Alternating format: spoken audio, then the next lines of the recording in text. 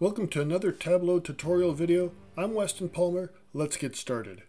But first, a thank you to my Patreon supporters. I love the interaction and feedback. So we wanted to go from a planned and unplanned, but we also want a third bar in here, which is the total of all of them. So it looks something like this. Planned, unplanned, and then a total. And I'm going to show you it's a little bit involved. First thing I want to do is just show you briefly the data that I'm dealing with. There's different groups, and then there's planned and unplanned types. These are going to be calculated fields in your database, and there's I'm sure there's going to be several record uh, fields off to the left. This is just the calculated field of the results that we want to graph. Now I'm going to show you another table that we're going to bring in. This is called scaffolding, and it only has one field, and I've got one numbers one through five. We're only going to use numbers one through three for this exercise, but you've got one through five if you need it. Now we've come to the back to Tableau. We have the group, putting that down here up the top, and then we wanted the type, planned and unplanned. And what we really want is we want to add that third, the total. So you have three bars for each group. Coming to the multiple bar chart, now I'm going to bring over the scaffolding. And right now, this is a logistical join, and that's what we want. If we had it as a physical join, if we opened this up and added it there, that would add multiple records for each uh, value in the scaffolding. So it would multiply your number of records by 5x. We don't want to do that. We just want, this is one level of detail and tab when it's a logistical join, Tableau knows, okay, this has got more detail, so we're gonna, gonna handle it appropriately. Now you'll notice that there's a red error message here saying, hey, how do I join them? And if you remember, or you probably don't remember, but they don't have any of the same fields. So what we're gonna do, gonna join it. For select a field, we're gonna create a calculation join. We're going to put the number one. It could be anything, but just you're going to make it the same on both sides. Create a relationship calculation. So this doesn't even have to be a field. And now this has a join. So every record in this multiple columns bar chart is going to have a value in scaffolding of 1, 2, 3, 4, 5. Now we're going to come here and you can see that it's linked. We're now going to create and I'm probably going to get this wrong first time. We'll call this uh, group type or group count. This is going to be an if-then statement. So now here's where it gets tricky. If the scaffolding, right, this is equals 1, let me blow this up.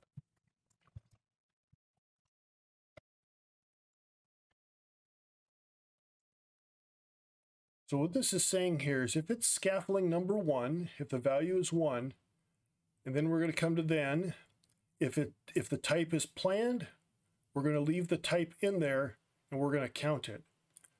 We're going to duplicate this calculation, except now we're going to add it for two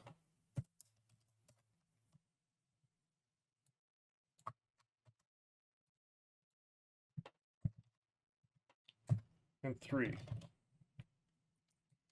Except on 3, we're not going to have, we're just going to have type. And actually, we're running into a problem of aggregation. I was having count here, but the original if statement is not using count. So I need to just get rid of that and we will put it on the visual. Okay, I need to put scaffolding, scaffolding.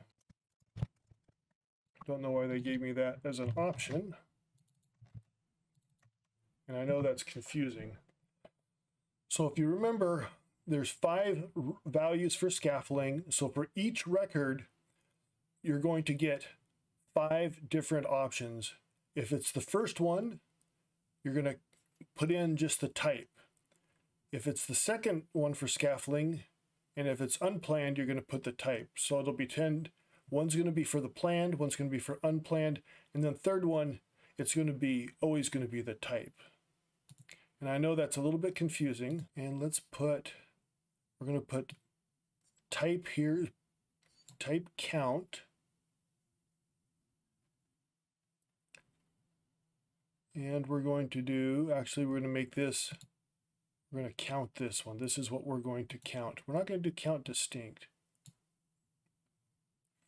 And then we're going to group the scaffolding. And we actually want to make this a dimension because we're not trying to add or subtract anything. So you can see here, the scaffolding is one, two, three, four, five. I'm going to exclude, exclude four, going to exclude five. And so now we have three columns. One, let's, let's just put it in the dashboard here. So we have planned six, we have six here. We have unplanned is two, we've got two here, and we have a total of eight. Same thing, let's pick another one of these. Let's pick the 90 to 180.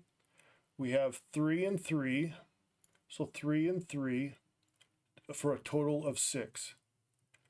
So we're just going to come here, we're going to put the scaffolding, and you could actually go in there and you could change the names to something else, right? You could change it to,